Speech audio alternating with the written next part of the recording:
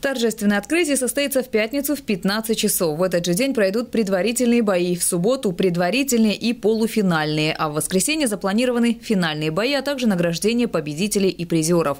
Организаторы турнира приглашают всех желающих посетить мероприятие и поддержать бойцов. Вход свободный. Напомню, турнир пройдет на базе 20-й школы.